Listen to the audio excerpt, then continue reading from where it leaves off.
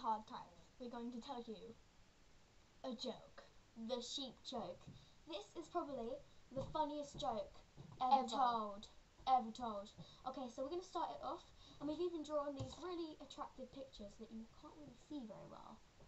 Can you see them? Yeah, they can see them. Okay, okay, so it's going to start off with a farmer. A happy farmer. And this farmer is happy because he has free sheep. And he likes these sheep. People come to the farm to look at the sheep. And the first sheep, it looks like this. And it was a pretty sheep. And it was German.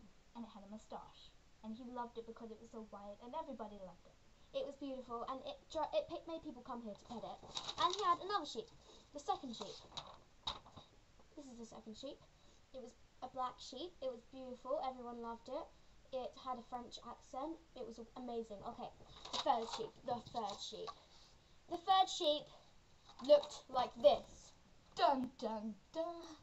It was horrible. The farmer hated it. The farmer looked like this because of it.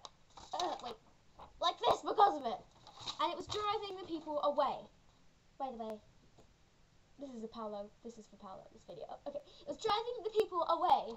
Oh no. So the farmer to the sheep and went because he was going to get rid of it because everyone was going away from his farm. Went up to the sheep and went, "Sorry, mate, we're going to have to get rid of you." And the sheep went, "You think I'm ugly?